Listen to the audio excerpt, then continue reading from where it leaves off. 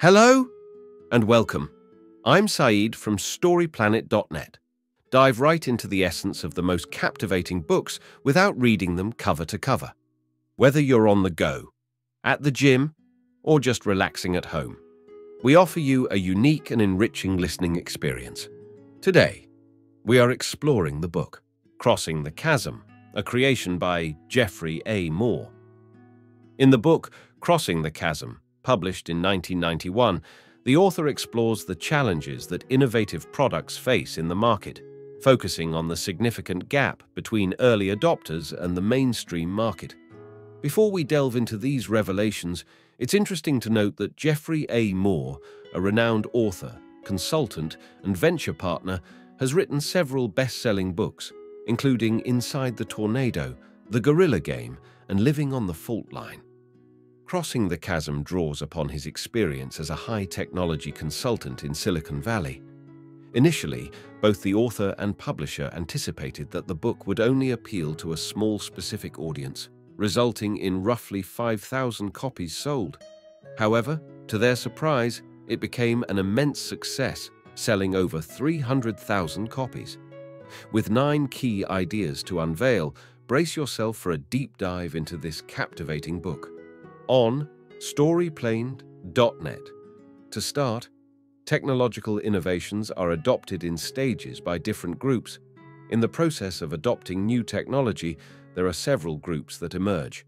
First are the technology enthusiasts who want the latest technology regardless of any issues.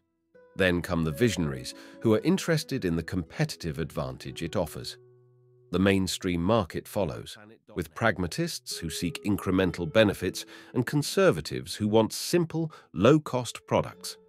Lastly, there are skeptics who provide valuable feedback on product failures. Key idea number one. The lack of alignment between visionaries and pragmatists can lead to product failures and company demise.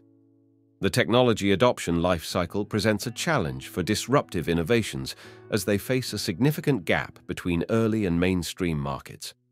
The motivations of early adopters and pragmatists are different, making it difficult to use customer references for selling to the mainstream market. Pragmatists require established vendors and references, but without them, a company cannot become established. This gap, known as the chasm, can lead to a decline in sales and value for the company.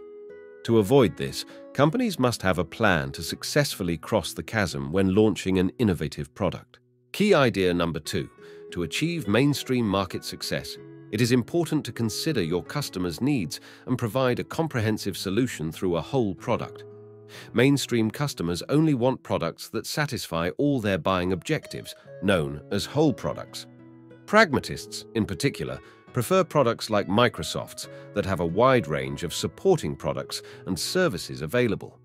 Whole products are crucial for successfully reaching the mainstream market and becoming a market leader. Some components of the whole product may fall outside the company's core competence, requiring partnerships to address those needs. These partnerships should solely focus on developing and marketing a whole product for a specific customer segment. An example is a company selling aggregated data on pharmaceutical research, which would need to partner with multiple data providers to meet customer demands. Key idea number three.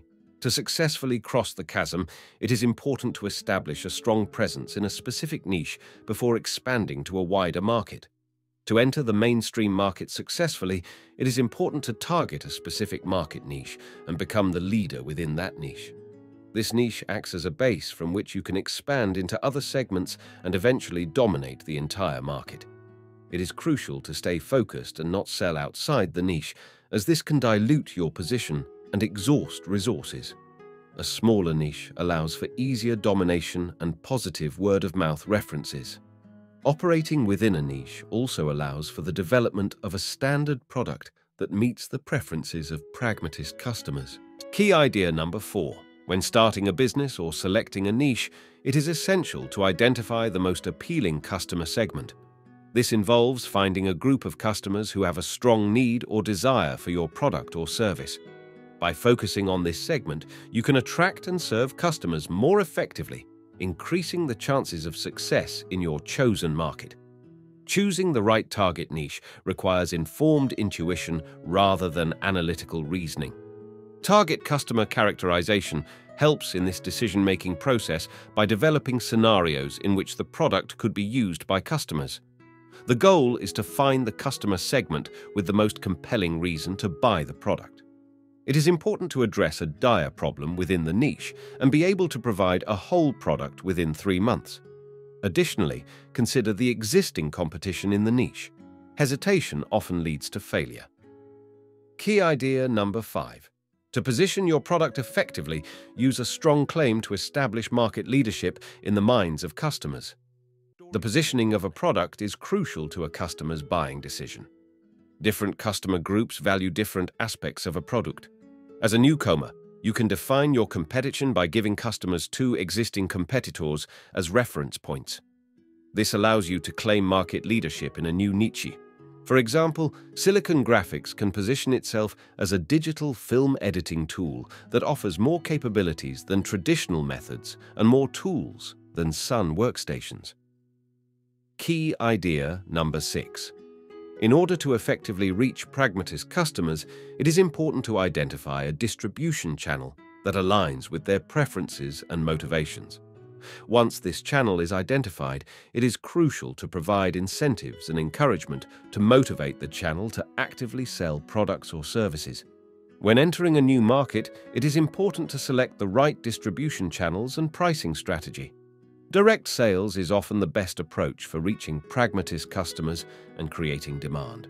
Once you establish market leadership, you can transition to other channels. In terms of pricing, offering distributors a higher commission initially can incentivize them to sell your product. Pricing your product as a market leader will also appeal to pragmatist customers. Key idea number seven. Crossing the chasm is a difficult task in consumer markets, even more so than in business markets.